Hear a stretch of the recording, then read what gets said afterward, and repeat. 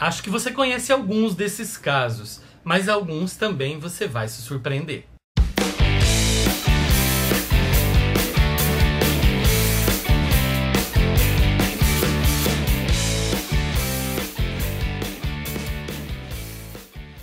Fala pessoal, tudo bem com vocês? Sejam muito bem-vindos, muito bem-vindas a mais um vídeo aqui da Acrópole.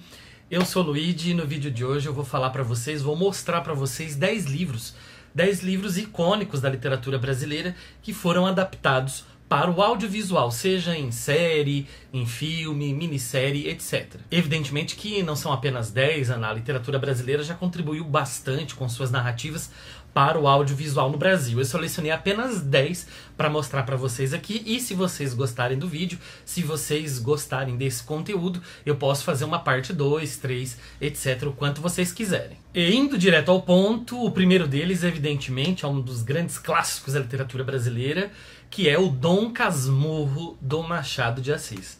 O Dom Casmurro teve algumas alguns livros, algumas obras, alguns filmes também que foram inspirados nele, né? Tem até livros que foram uma espécie de continuação do Dom Casmurro, né? Uma fanfic, digamos assim, é, de Dom Casmurro. Mas talvez a adaptação mais icônica desse livro tenha sido em 2008, a minissérie Capitu, feita na Rede Globo, dirigida pelo Luiz Fernando Carvalho. Ela mescla elementos muito bonitos, né, da da época e também uma coisa meio Dogville, assim, sabe?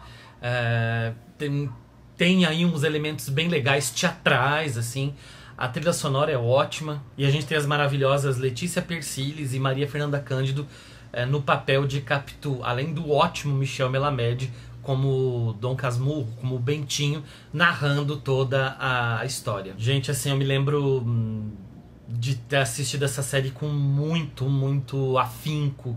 E me lembro de ter o livro em mãos, Dom Casmurro, e, e ler junto e acompanhar passagens de tão fiel ao texto do Machado que essa série foi. Abra um parênteses, eu não tô aqui para falar de fidelidade, de adaptação, de melhor adaptação ou não, segundo a fidelidade ou não, né? Eu, eu entendo a, o audiovisual como uma adaptação, é uma leitura a partir de um olhar de quem dirige. Então, assim, por isso que muitos fãs às vezes não gostam das, das adaptações, né? É, mas esse é um papo para uma outro, para um outro momento, para um outro vídeo. Fecha parênteses. Outro grande clássico que teve uma adaptação icônica foi A Hora da Estrela da Clarice Lispector. Esse foi o último livro escrito pela, pela Clarice. Ele foi publicado no mesmo ano da morte da, da escritora, em 1977. E em 1985 ele foi adaptado ao cinema pela diretora e roteirista Susana Amaral. Conta inclusive com participações do Humberto Magnani e da Fernanda Montenegro. E Marcélia Cartacho no papel de Macabea, a grande personagem desse livro. Imagino que tenha sido um desafio, porque adaptar esse livro para o cinema não é uma coisa fácil, né? A Clarice, a escrita da Clarice, ela não é tão límpida no sentido de ação e de uma imagética direta para o audiovisual mas eu acho que a, que a, que a diretora conseguiu fazer muito bem. Em 2016 saiu o filme O Filho Eterno, com roteiro de Leonardo Leves e direção do Paulo Machini. Essa é uma história adaptada do livro de sucesso do escritor catarinense, mas radicado do, no Paraná, a gente chama ele mais de paranaense, né? Cristóvão Teza, de 2008, romance homônimo, também chamado Filho Eterno, que é a história desse escritor, dessa figura desse escritor que se aproxima muito à figura do Cristóvão Teza, é, lidando com o fato de saber e depois na paternidade, né, com um filho e, tendo síndrome de Down. Eu me lembro que na época o livro ele teve opiniões bastante polarizadas, bastante opostas. Tem gente que amou o livro, que adorou, e tem outros que acharam que o livro é oportunista, que o livro quis se vender como uma autoajuda.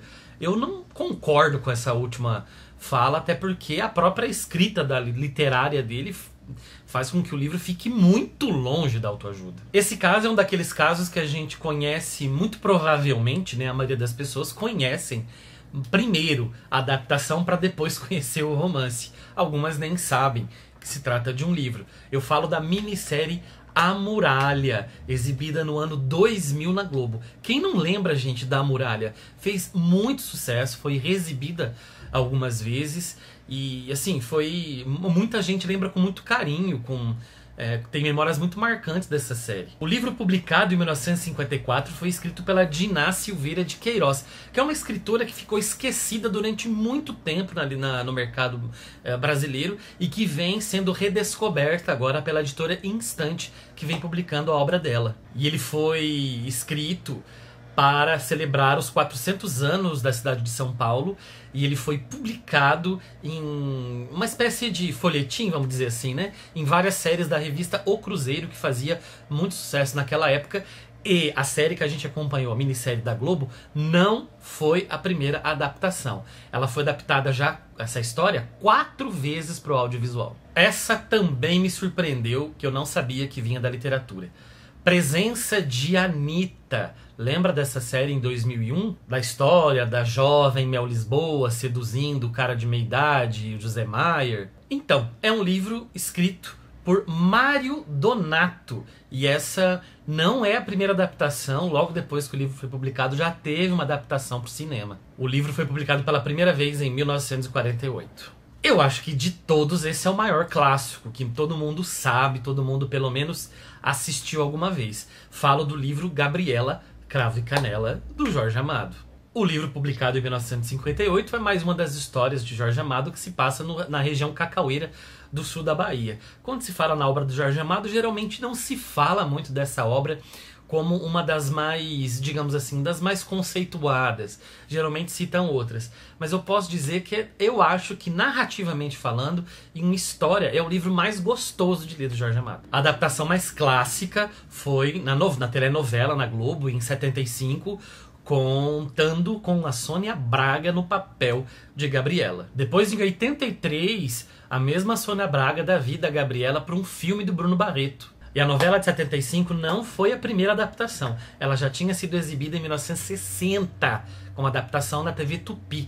E também ganhou na Rede Globo, nos anos aí, não me lembro agora a data, ganhou também uh, uma adaptação nova, tendo a Juliana Paz, se eu não me engano, no papel de Gabriela. Outro que briga pelo título de mais conhecida adaptação, com certeza, é a peça do Ariano Suassuna, O Alto da Compadecida que vai ganhar em breve um filme 2, hein, gente? O livro foi escrito em 1955, publicado nesse ano, e já no ano seguinte já foi já foi encenado, já foi feito no teatro, né? Então, foi assim, imediato, repentino sucesso. Mas é claro que a adaptação mais icônica é o filme do ano 2000, feito pelo Gel Arraes, e que assim conquistou toda uma geração, foi exibido e reexibido na televisão inúmeras vezes. É difícil não se lembrar das falas uh, de algumas das mais icônicas, inclusive dos personagens João Grilo e Chicó, monumentalmente interpretados por Matheus Nastergaile e Celton Mello. Em 1995, Jô Soares lança o livro O Xangô de Baker Street, que é um livro engraçadíssimo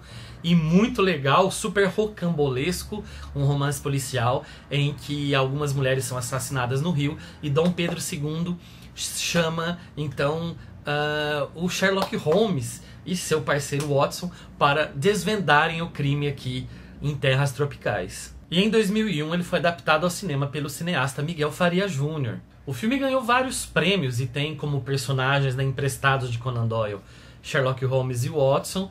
Tem também pers personagens reais como Dom Pedro II e Chiquinha Gonzaga. Em 2003 nós assistimos em 51 capítulos na televisão a série A Casa das Sete Mulheres, que tem como pano de fundo a Revolução Farroupilha que acontece no Rio Grande do Sul.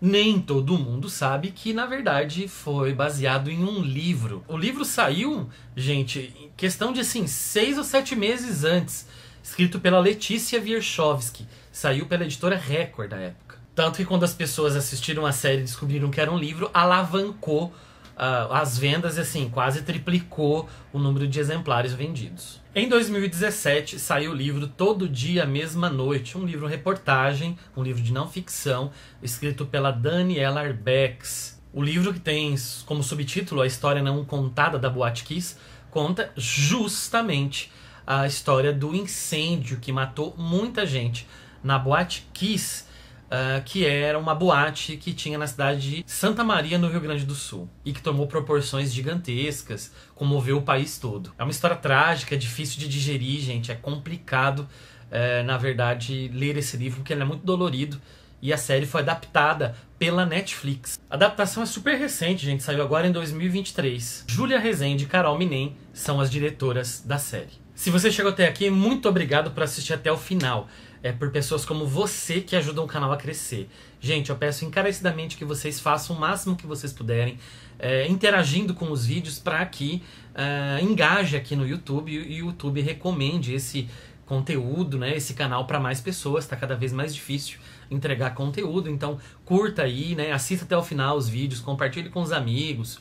Se você quiser ajudar de mais maneiras, você pode. Tem aqui né, o botão valeu, você pode doar qualquer valor, se você puder, se você quiser. Quando você for comprar pela Amazon, você pode comprar pelo link que está aqui na descrição do vídeo. Assim você consegue ajudar a Acrópole a ganhar aí uma comissãozinha e você não vai pagar nada mais por isso. Aqui também na descrição do vídeo vão outros links, como os links dos livros que eu escrevi e traduzi, se você se interessar, dá uma olhadinha lá. Também dois links, o link para o nosso grupo de WhatsApp do nosso clube de leitura e também o canal do Telegram, onde eu compartilho promoções de livros.